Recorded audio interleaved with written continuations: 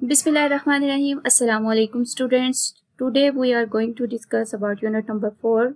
Name is data and privacy.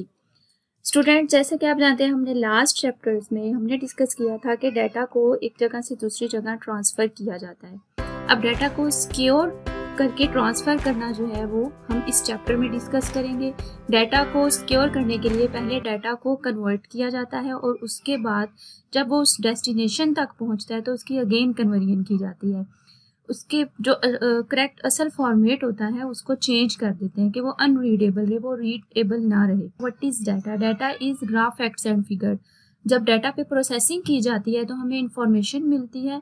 इसकी example हम ऐसे देखते हैं, जैसे मार्क्स हैं स्टूडेंट्स के, आपने मार्क्स कलेक्ट किए डेट इज़ डाटा और उसके बाद आपने उस पे प्रोसेसिंग की तो प्रोसेसिंग के बाद आपने जो परसेंटेज और एवरेज कैलकुलेट की that would be information so students आज का लेक्चर स्टार्ट करते हैं। सबसे पहले हम देखते हैं कि कंप्यूटर्स का यूज़ जो है वो डे बाय डे बहुत ज़्यादा इंक्रीज हो जा, होता जा रहा है और ऑलमोस्ट ऑल एजेस के जो पीपल हैं वो इस कंप्यूटर को यूज़ कर रहे होते हैं। अब कंप्यूटर डिफरेंट पर्पज़ के लिए यूज़ करते हैं। लाइक like समटाइम्स हमारी जो इन्फॉर्मेशन है पर्सनल इन्फॉर्मेशन हमें वो कंप्यूटर को देनी पड़ती है। लाइक like, एग्ज़ाम्पल क्या है कि आप ई अकाउंट क्रिएट कर रहे हैं तो वहाँ पर आपको अपनी बहुत सी डिटेल एंटर करनी पड़ती है।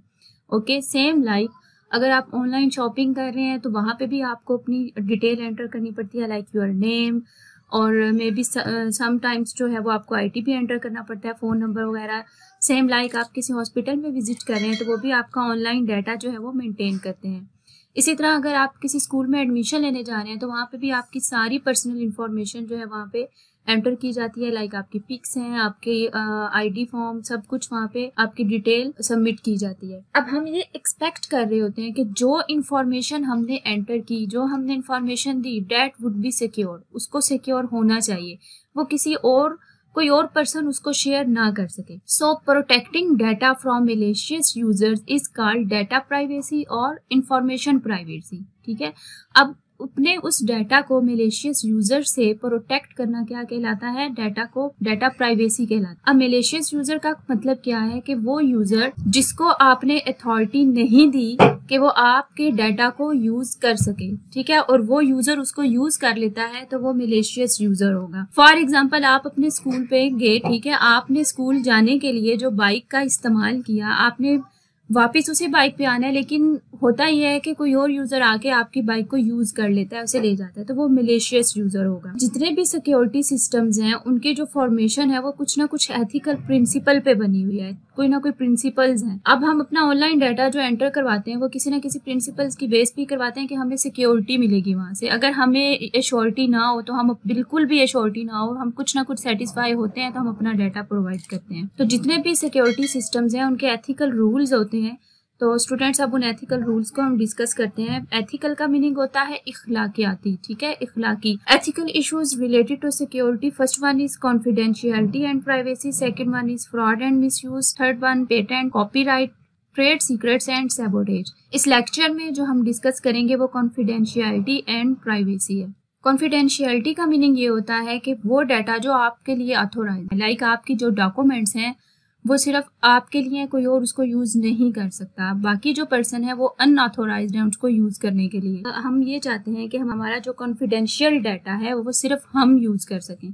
अब उसको सिक्योर करना प्राइवेसी होता है। लाइक like, मैं ये चाहती हूँ कि मेरी बैंकिंग की जो इन्फॉर्मेशन है वो कोई और शेयर ना करे। अगर किसी कोई और वो शेयर करता है या किसी और के पास जाती है तो इससे मुझे लॉस होने का खतरा होगा। सेम लाइक like, अगर फ़ोन कंपनीज़ हैं अब उनकी इन्वॉइसिस और बिल्स वो सब कॉन्फिडेंशियल होने चाहिए। अब फ़ोन कंपनीज़ अगर वो अपना डाटा किसी को सेल कर देती हैं तो फिर हम उस कंपनी पे ट्रस्ट नहीं कर सकते हैं। स्टूडेंट्स तो due to more usages of computer data is collected and store अब डाटा किस टाइप का कलेक्ट किया जाता है? लाइक क्रेडिट कार्ड्स का होता है ऑनलाइन सेलिंग परचेजिंग होती है। आजकल ऑनलाइन काम बहुत ज़्यादा चल रहे हैं। इसी तरह ड्राइविंग लाइसेंस है या क्रिमिनल रिकॉर्ड्स और मेडिकल रिकॉर्ड्स भी ऑनलाइन कंप्यूटराइज होते हैं। पोटेंशियल थ्रेट्स हैं। उनमें क्या इंक्लूड है? कि improper use of computerise data अब जितना भी ये डाटा रिकॉर्ड किया गया, अगर इसका इम्प्रॉपर यूज़ किया जाए तो वो किसमें चला जाता है? वो एथिकल इशूज में जाएगा।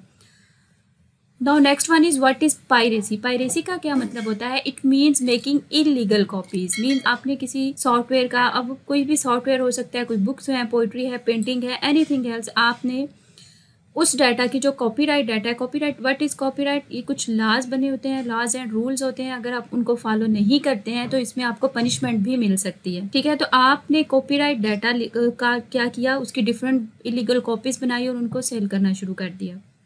तो ये किसमें जाता है? ये पायरेसी में जाता है। नेक्स्ट हम डिस्कस करेंगे what is software piracy software piracy क्या होती है? Software piracy is the illegal copying distribution और usages of software illegal copies बनाई और उनको डिस्ट्रीब्यूट किया, ठीक है? वो सॉफ्टवेयर पायरेसी होगा। डिफरेंट जो कंपनीज़ हैं, वो सॉफ्टवेयर को सेल करती हैं, जो कि कॉन्फिडेंशियल सॉफ्टवेयर होता है, उसको और वो साथ में उसकी की देती हैं, ठीक है? फॉर एग्ज़ाम्पल जैसे इस पिक्चर में ये नज़र आ रहा है कि इन्होंने ये की एंटर करने का कहा है। अब हम क्या करते हैं कि हम इस की को डिफरेंट वे से डाउनलोड करने की ट्राई करते हैं। ठीक है? हम में से बहुत से लोग ये काम करते हैं। करना तो नहीं चाहिए एथिकल इश्यूज़ के अगेंस्ट है, लेकिन हम ट्राई करते हैं ताकि हमारी पैसों की बचत हो। This key is only provided to only those people who buy that software ये की उनको मिलती है जो सॉफ्टवेयर को बाई करते हैं। लेकिन डिफरेंट जो यूज़र्स हैं, वो क्या करते हैं, वो इस सॉफ्टवेयर को क्रैक करते हैं क्रैक करके और उसकी, वो की प्रोवाइड करते हैं, जैसे दूसरे भी यूज़र जो हैं, वो उसको यूज़ कर सकते हैं। तो ये भी पायरेसी में जाता है। Next one is types of software piracy हम अब यहाँ पे different types of software piracy को डिस्कस करते हैं, जिसमें से फ़र्स्ट वन जो है, वो सॉफ्ट लिफ्टिंग है।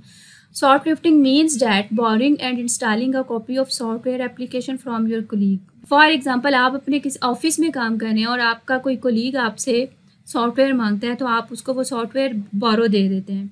अब वो कोलीग क्या करेगा, वो अपने कंप्यूटर में उस सॉफ्टवेयर को इंस्टॉल कर लेगा। असूलन तो वो सॉफ्टवेयर आपको देना ही नहीं चाहिए था, लेकिन आपने दिया और उसने वो कंप्यूटर में इंस्टॉल किया तो ये भी क्या, ये सॉफ्ट लिफ्टिंग होगा। Next one is client server overuse it means that installing more copies of the software than you have licences for for example जैसे आपको थ्री कंप्यूटर्स पे एक सॉफ्टवेयर को इंस्टॉल करने का लाइसेंस दिया गया। लेकिन आपने क्या किया? आपने उनको सिक्स कंप्यूटर पे इंस्टॉल किया। तो ये ओवर यूज़ में जाएगा, ठीक है? तो ये होता है client server over use mean जितना आपको लाइसेंस दिया गया था कि आपने सिर्फ़ थ्री कॉपीज़ करनी है उसकी थ्री कंप्यूटर्स पे इंस्टॉल करना है। आपने सिक्स पे किया तो उसका डबल यूज़ किया। तो ये क्या होता है? Client server overuse next one is hard disk loading It means that installing and selling unauthorized copy of software on refurbished or new computers.